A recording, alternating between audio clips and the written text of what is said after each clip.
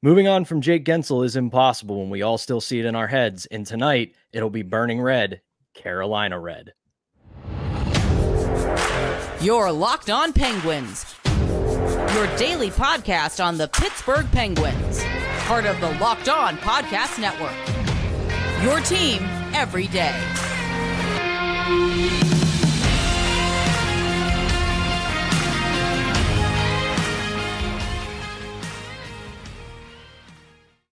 Welcome back, Penguins fans, to another edition of the Locked On Penguins podcast. I'm one of your hosts, Patrick Damp. You can follow me on Twitter at synonym for wet. Joined as always by the one and only Hunter Hodes. You can follow him on Twitter at Hunter Hodes. You can follow the show's account at LO underscore penguins. We thank you for making this your first listen or watch of the day because we're your team every day. And we are free and available on all platforms wherever you get your podcast, including YouTube.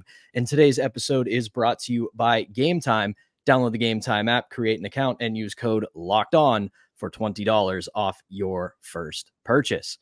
So here it is, Penguins fans. Here it is, Hunter our good boy, one of our all time favorites, one of arguably the best wingers in the history of the Pittsburgh Penguins organization, returns to town tonight with the Carolina Hurricanes. And that is the one and only Jake Guentzel. So, for this first segment, rather than fully preview the Carolina Hurricanes game, we're going to do something that I think a lot of Penguins fans have been doing recently and that's kind of waxing poetic about the Jake Guentzel days when he was a Pittsburgh Penguin because they were a lot of fun. There was a lot of success. There were goals, milkshakes, chirps, incredible playoff performances, and so much more. So rather than sit here and cry and get sad and think about how much we miss Jake Guentzel, we're going to take a look back and talk about a lot of the good times that we had with number 59 as a Pittsburgh Penguin. So, Hunter, I want to start with this because it's absolutely absurd with Jake Guentzel.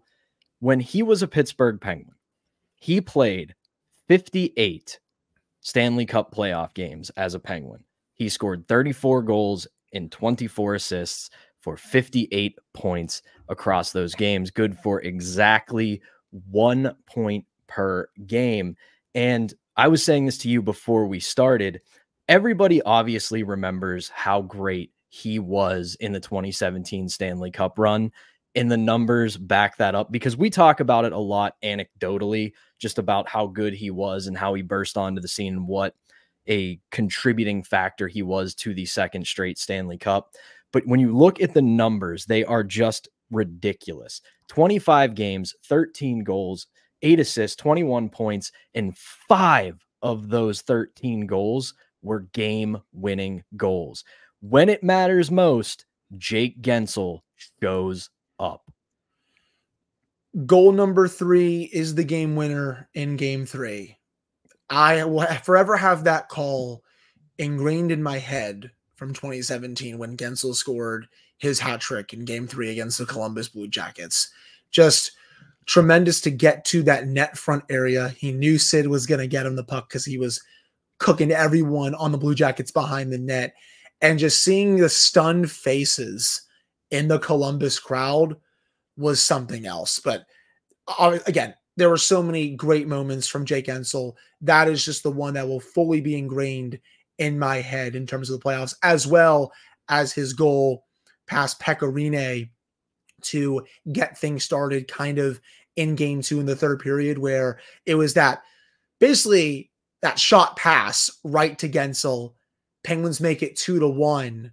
And then the, the floodgates opened right after that. Rinne gets pulled. The Penguins go out to a two nothing series lead. And of course, the game winner in game one, their first shot in over 30 minutes goes in the net. Just he had a knack for the big moments. And he was just spectacular to watch in the playoffs. And it wasn't even just the 2017 run to the Stanley Cup, right? In 2018, he absolutely torched both the Philadelphia Flyers and the Washington Capitals he had that four goal game in the Flyer series.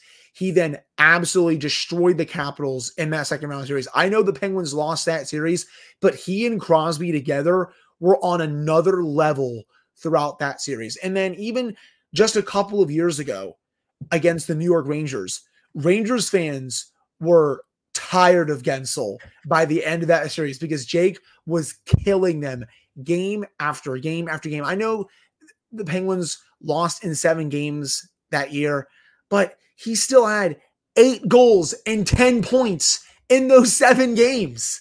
It, was, it was absurd. And I will, like you said, the Columbus goal in 2017 lives forever in your head. Even though it was a losing effort, I will always remember Doc Emrick's call in game three when Jake scores to put the Penguins up one nothing early. And instead of one of his big time goal calls, all he says after Guentzel scores is Penguins score. You want to take a guess? Yes. Because he could not stop scoring.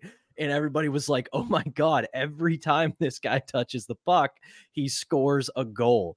And it was so fun to see in his time as a Penguin because we have seen so many superstars come and go in Pittsburgh uh, as Penguins fans that they all have fun relate a lot of them for the most part have fun relationships with the fans but I don't think I've really ever seen a non like because I don't want to quite call Jake Guentzel a superstar. I think he's very much on the cusp of it. He's one of the great players in the NHL right now. But I've never seen a guy like this captivate a city just simply because of the milkshake factory uh, promotion, the Jake Shake, because you, you, we see all kinds like you're wearing the how about that save shirt right now from Pittsburgh Clothing Company, and there's been so many great memes in, in moments from Penguins, but it was like an unending chorus of people anytime Jake would score to the point where it wasn't about what the goal meant. It wasn't about what it was to the game. It wasn't whether it was a tying goal, a game winning goal, a comeback goal, whatever. Everybody instantly went to, yeah, 50% off milkshakes. Absolutely. I mean, and heck, they're still going to keep putting out that same milkshake. They just changed the name if I recall correctly, Pat, after J- Jake got traded, they just changed the name of the milkshake just because they had that final day of the Jake Shakes where the line was out the door at the milkshake factory. and they retired his Jake Shake jersey at the main location. Yes, uh, they, they loved him just as much as the entire fan base loved him. And he is going to get an unbelievable ovation at PPG Paints Arena tonight yeah, there's always a chance that he comes back during the off season. I will still go on the record and say that, in my opinion, it is highly unlikely just because you don't really see this happen that often. But if it did happen, boy, it would be a lot of fun, wouldn't it? Just seeing yeah. him reunite with Crosby. I know it would be on a very long term deal. He'd probably be making a lot of money. But again, I still think it's more unlikely than it is likely. And he's off to one heck of a start with the Carolina Hurricanes. He's only played eight games and in those eight games, two goals, 12 points in those eight games. And his underlying numbers 55% of the shot attempts for the Hurricanes when he's on the ice, nine goals for, no goals against, 58% of the scoring chances for rate, 56% of the high danger chances for rate, four high danger goals for, no high danger goals against. Pat, is he still a product of Sidney Crosby? I got it again. You shouted out our buddy Dan Hopper yesterday. I got to shout him out again today.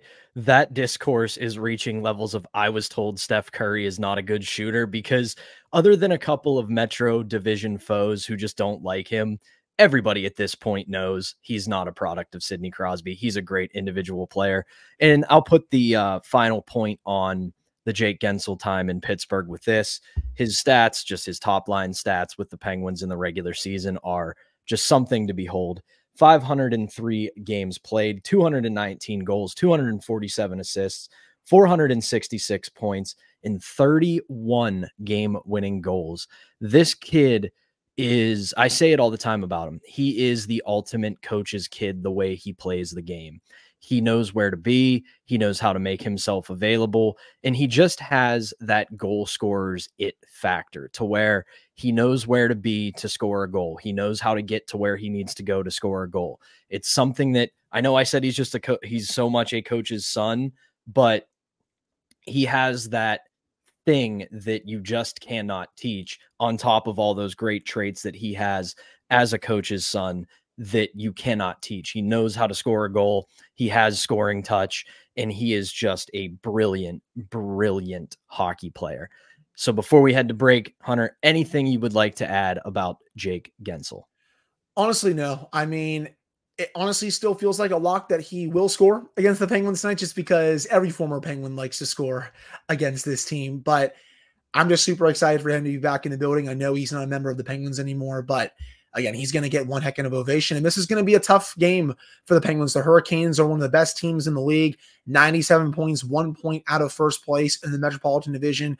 They're a very stingy team, really good in their own zone. This is a very Hurricanes type team. They don't have anyone who's probably going to hit 100 points this season, but they have plenty of players who can put the puck in the back of the net and who can defend really well. They like to take a lot of shots from the point and it's an effective system. Now, can it hold up for a full run to the Stanley Cup? We'll have to see. It hasn't so far, but it's been very effective during the regular season. They get quite a few chances off those point shots and from the high danger areas. And the Penguins are going to have to be on high alert in this one, especially with how much deadlier the Hurricanes are now, now that they have Jake and Evgeny Kuznetsov with the way he's been playing since being traded to the Hurricanes.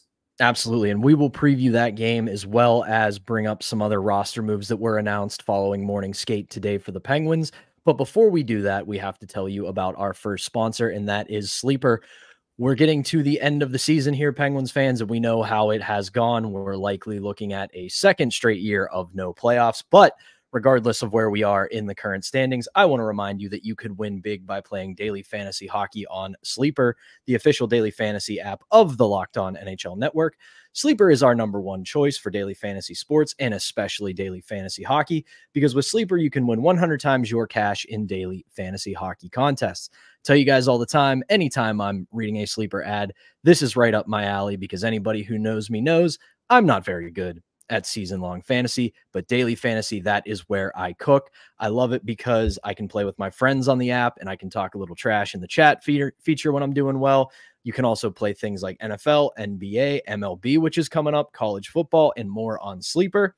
And entries can be made in under a minute. And all you have to do is pick whether studs like Nathan MacKinnon, Alex Ovechkin, Connor McDavid, and more will record more or less than their sleeper projections for things like goals, assists, saves, plus minus, and more in a given game.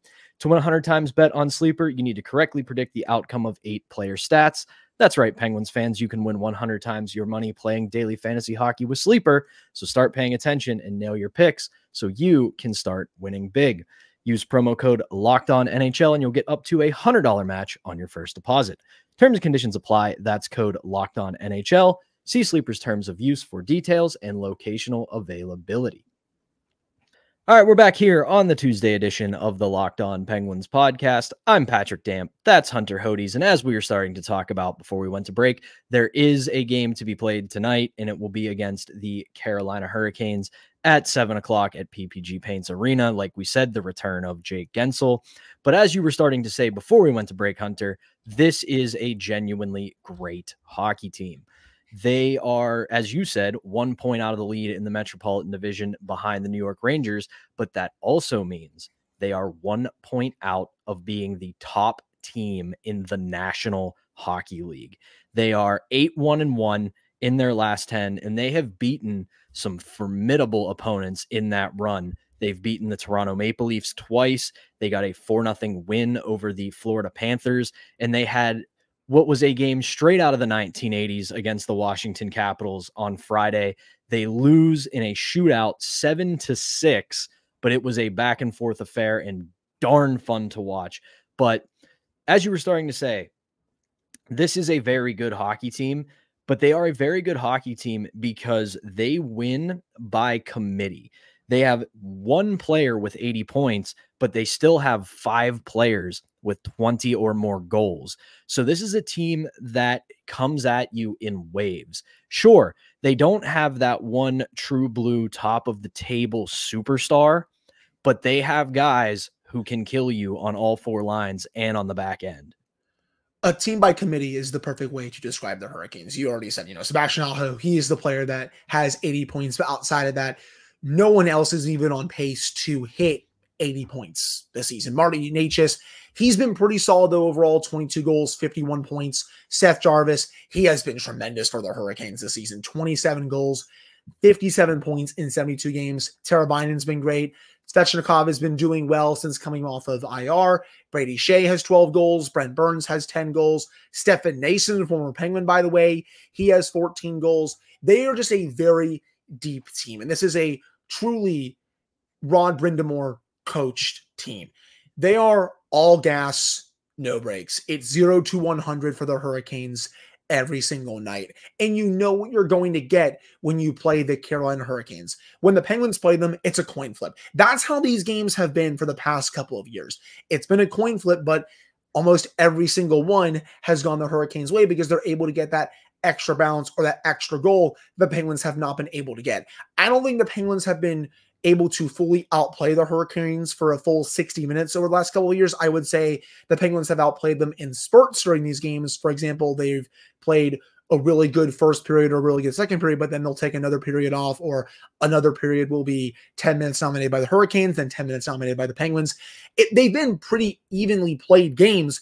The Penguins have just not been able to get the results because the Hurricanes have won that coin flip. And in the three games this year, especially, you know, the Penguins won that game in Pittsburgh earlier this year, but in the two games in Raleigh, the Hurricanes were able to win two coin flips, even though I thought the Penguins actually played fairly well in those games. The biggest question for me with the Hurricanes is can they sustain this system for a full spring? Because they haven't been able to do that for as long as they've had Brind'Amour and for as long as they've had this core. They are at least a decently fun team to watch. They do fire a lot of shots from the point, as I was trying to say. They don't call them the Carolina Corsies for no reason. Their underlying numbers are pretty solid, but can they get enough goal scoring in the playoffs and can they get enough goaltending to go far? That's when I'm going to be watching for them this spring because no matter who they play in the first round, if they get that number two seed, they'll be the favorite over Philadelphia or Washington. And I will expect the Hurricanes to win at least that series. But what happens if they do play a team like the Rangers, who are playing really well this season? I think they're in a better position to win that series because they have Guentzel. Kuznetsov has found a new form since returning, or not really returning, but since getting to Carolina, excuse me. So that's what I'm going to keep an eye on for them overall this season. But in terms of this game, the Penguins just have to do a good job of limiting Carolina's speed and getting through the neutral zone with the puck cleanly because the Hurricanes are really aggressive in the neutral zone and they like taking the puck the other way and going full steam ahead in terms of transition offense. The Penguins are going to have to be on high alert for this one. Make sure they're not being too aggressive with their pinches as well because this team can burn you pretty quickly as which has been evidenced for most of the season. It has. And I want to build off of two things you said there about the playoffs when it comes to goal scoring and goaltending is one, they eh, Kuznetsov is looking a lot better now playing for the Carolina Hurricanes. Stats aren't that great, but still, you know, you didn't expect him to come in and be prime Kuznetsov, no. but 10 games, two goals, three assists, five points. Jake Guentzel, obviously, we already talked about two goals, 10 assists, 12 points in 10 games. And the thing is with those two, they are two very bona fide playoff performers. They show up in the postseason. And that's kind of what they've been missing all these years is that true game breaker who is great in the postseason.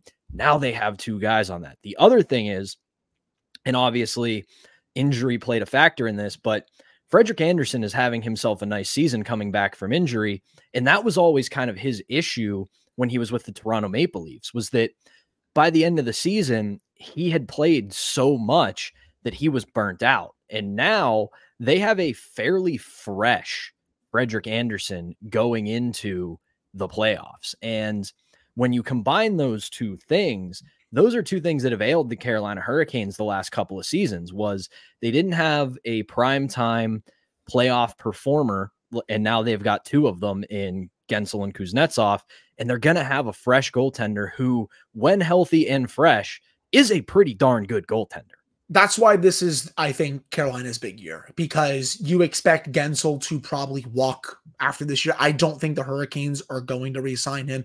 Crazier things have happened, but I see this as a pure rental for the Hurricanes. And once he leaves, they're going to have to find a replacement for him, which is obviously easier said than done. The Penguins are to, you know, I, I like what Michael Bunting has provided for sure, but he's still not to provide the value that Jake had been providing for the last several years. And then goaltending, you never know with Frederik Andersen, how long can he stay healthy? That's to be my biggest question with him. And just also with Carolina's goaltending, can it be consistent in the playoffs? Because we've said this on the show numerous times. The Eastern Conference is not that good this year. I mean, I think the Rangers and the Panthers are 1A, 1B in the conference. And then the Hurricanes, I guess, if you want to call them a 1C or a 2, those are the three, three best teams. But can the Hurricanes get past them? And if they do, can they finally win it all? Because I do think this is Carolina's best shot at a Stanley Cup for as long as Brind'Amour has been there and for as long as that core has been there as well. And they better take advantage of it for sure. Yeah, definitely. And for the Penguins side of it, today we learned uh, that Sam Poulin has been called up. Noel Acciari has been placed on IR. He's week to week. Alex Nedeljkovic will get the start in net tonight against the Hurricanes. And Jeff Carter is a game time decision, which, as we know in Mike Sullivan speak, pretty much means he's playing tonight. So, with that in mind, do you think Sam Poulin gets into the lineup? Yes. I mean, I think he should get in the lineup. Why would you call him up just to healthy scratch him. That makes no sense, right? And yeah, I understand that Jeff Carter is a game time decision, and usually that means he's going to play. And Mike Sullivan loves playing Jeff Carter. That's just been the case for as long as Carter's been a Penguin. So you think he's going to get back in the lineup. So with Carter coming back in, and if Poulin's going to play, someone has to come out then. And in my opinion, it's going to be one of Jesse Puljujarvi or Emil Bemstrom if Poulin does get in the lineup. In my opinion, I would go towards – removing Bemstrom from the line just because I ha- don't really think he's been doing much for the last several games. I think you want to see what Poulin can do at the NHL level for these final 10 to 12 games of the season to see if he factors into your plans for the entire 2024 2025 season. And he's been good down in Wilkes-Barre so far this season. I mean, in 36 games, 13 goals, 27 points in those 36 games. Again, I don't think he's a role beater. He's not going to come onto this team, light it up in the top six or anything like that. But you owe it to yourselves to see what you have in this player with how he's been playing when he's been healthy this year. I'd much rather see what he can do in the lineup over someone like Acciari, even when healthy. I, I, obviously he's hurt. I wish him the best in getting back, but even when healthy, I want to see what Poulin can do over Acciari. I want to see what he can do over someone like Bemstrom who hasn't been playing that well. I want to see what he can do over someone like Carter. No offense, Pat. I know you're the president of the Jeff Carter fan club, but I would want to see what Poulin can do over someone like Carter, over someone like Jansen Harkins, who obviously is hurt, Matt Nieto as well. You owe it to yourselves to play him and don't just play him for seven to eight minutes give him some runway, give him Pat 10, 11, 12 minutes, staple him on maybe your third line if you want to, for example, break up that third line for a little bit, even though it's been playing really well. If you want to put him on there, give him some minutes, that makes sense. Or if you put him on your fourth line, don't just shelter him and play him seven minutes. Give him adequate ice time to see what he can do at the NHL level. There is no risk to doing it. Yeah, I'm with you. And I, I think to me, the odd man out should be Emil Bemstrom. He has not really done a whole heck of a lot since joining the Penguins, despite scoring in his first game against the Flyers. Outside of that, I mean, I'm fine with Carter coming back into the lineup because I think contract aside, he's been a fairly solid fourth line contributor this year. And I think you do need to have that at the very least. And with Bemstrom, like I said, there's not a whole lot of there there for him. So this is probably the opportunity that Sam Poulin is looking for and needs. And before we go to break and preview the rest of the week ahead, there is a clinching scenario on the table tonight for Carolina. So this is a little bit of an opportunity for the Penguins to play a little bit of spoiler and delay the inevitable for Carolina. The scenario for the Hurricanes to get into the playoffs is as follows. Should they win tonight in any fashion, in any of these three scenarios occur again tonight, the Red Wings lose to the Capitals in any fashion, the Flyers lose to the Rangers in regulation, or the Flyers lose to the Rangers in overtime or a shootout, and the Capitals lose to the Red Wings in regulation. And lastly, if the if the Canes only get a point against the Penguins and the Red Wings lose to the Capitals, they will get in. So this is a chance for the Penguins to be a little bit of a spoiler and delay the inevitable, but that is going to do it for this second segment. When we come back, we're going to take a quick look at the week ahead. All right, we're back here on the Locked On Penguins podcast. I'm Patrick Damp, joined as always by Hunter Hodes. And outside of Carolina tonight, pretty uneventful week coming up here for the Pittsburgh Penguins. After tonight, they've just got a home at home with the Columbus Blue Jackets, and they are actually off this weekend. No game on Saturday or Sunday. So, not a whole lot there to talk about, but two very winnable games. Pat, they actually do play on Saturday, so take the L on that one. They play Thursday and Saturday against the Columbus Blue Jackets, so they do have off on Friday and Sunday. So it's not a full clean weekend for the Penguins, but they play Columbus at home on Thursday before traveling to Columbus on Saturday for the home and home. And then they will travel to New York to play the Rangers at Madison Square Garden on Monday, April Fool's Day. So that's the rest of this week when it comes to the Penguin schedule. Overall, I will say this outside of tonight, which I mean, I feel like is probably going to be a Penguins loss just because of the way they've been playing lately. I do think the two games this week against Columbus are pretty winnable for the Penguins, considering how the Penguins have owned the Blue Jackets over the last several years. Those two games might be the two most winnable games left on the schedule. You, we can go through it right now. Those two games against Columbus Carolina, the Rangers, the Devils, who the Penguins just can't ever beat right now. The Capitals, I mean, that's maybe at least a little bit winnable, but the Capitals are playing at least better hockey, even though they have a terrible goal differential. Tampa Bay, Toronto, Detroit, okay, that's a winnable game. Boston, Nashville, the way they're playing, my God, they're playing like crazy hockey right now. And then the Islanders, that's at least a little bit of a winnable game too. But outside of these two Columbus games, the only ones that I would say are even remotely winnable are the Detroit game, the Islanders game, and maybe the Capitals game overall. And that's, again, 12 games left for this team. There are not many, I guess, sure wins left on the schedule. And we I don't even know if we can call anything a sure win at this point with how the Penguins are playing. You expect the Penguins to be the Blue Jackets both times because of their history, but we have to see if they do indeed show up for those two games. And then with Washington, that's always a 50-50 no matter what. And then Detroit, the Penguins just blew out the Red Wings just a couple of weeks ago. I do think that's a winnable game as well. But not too many left on the schedule, but at least the opportunity is there for them to get a couple of wins this week if they aren't able to beat Carolina in this game Tuesday night. For sure. And I will take the L on that. I misread the Penguins website because their calendar is goofy. So I screwed that up. I'll wear that. But yeah, I mean, the way this team is played, you really can't say anything's a winnable, uh, for sure, winnable game. But there is opportunity there for them to make a little bit of a mark as the season comes to a conclusion. Uh, real quick before we wrap the show, uh, there was a great piece in the Athletic this morning from Aaron Portzline about the history of the Columbus Blue Jackets. It was called "The Team That Parody Forgot" in the Columbus Blue Jackets, and it, it was a great, great read that basically chronicled how this team has kind of struggled for its entire history. But to give a bit of a perspective on the Penguins in it, there was a visualization in there, a nice bar graph about points percentage in the NHL since the 2000 2001 season when the Columbus Blue Jackets and Minnesota Wild joined the NHL.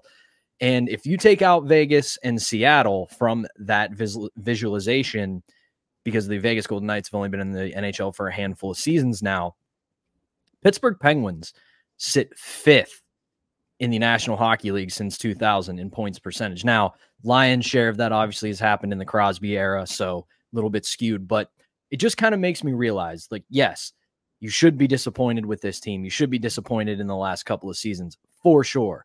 But we have seen a 22, 23, 24 year ride where this team has consistently been among the top five teams in the National Hockey League. This is one of the most spoiled fan bases, not just in the NHL, but in all sports. I mean, five championships, since the early 90s. There are not many franchises in sports that can say they've had the success that the Pittsburgh Penguins have had. And you're right. You have every right as a fan to be upset, disappointed, pissed off, whatever word you want to use to describe the season. Because heading into the season, there was a lot of buzz. There was a lot of excitement. There was a lot of promise when it came to this team, especially after the Erik Karlsson trade happened. You and I both went on the show numerous times and said that we expected this team to make the playoffs at least as a wild card team and fight to get into maybe the top three for the Metropolitan Division. I know things haven't gone according to plan and they're on pace to miss the playoffs for a second straight season. But overall, just remember everything that has happened throughout this era of Penguins hockey because it's an era that you're probably not going to see for a long time, if not potentially ever again, with the level of success that this team has had. And we have a full offseason to discuss potential moves. We both expect this team to try and do a retool on the fly this offseason to try and get back to the playoffs for next year. But just remember everything that has happened throughout the Crosby era and then even before that with the Lemieux era in terms of the success with this franchise. And if you want to gloat about it to other teams, go ahead. You know, J- Jesse Marshall was even saying that on Twitter last week. You brought it up just yesterday. Gloat to people. Who cares? Like, if, if you want to gloat about the Stanley Cups, by all means do it because those franchises, they'll never probably see that type of success that we all have when yep. thinking about this team. Yep. We have had it very good for very long, but that is going to do it for this edition of the Locked On Penguins podcast. Penguins and Hurricanes tonight, 7 o'clock, PPG Paints Arena. Hunter and I will be back tomorrow to recap that game and more. But for Hunter Hodes, I am Patrick Damp. Thank you as always for tuning in, and we will be back on Wednesday. So have a great day and let's go, Pens.